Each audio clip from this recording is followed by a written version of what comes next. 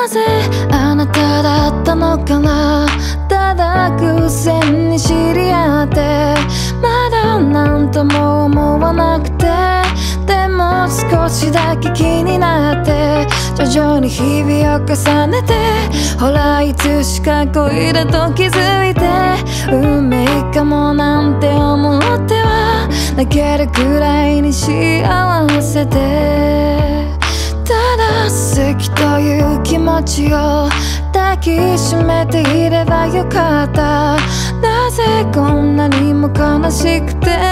涙が出たりするんだろう。お互いを知るほどに分かり合えないことも増えて許せてたタバコも今ではただ苛立ちに変わってく。完璧だと思えた。あなたはあの頃と何も変わらないのに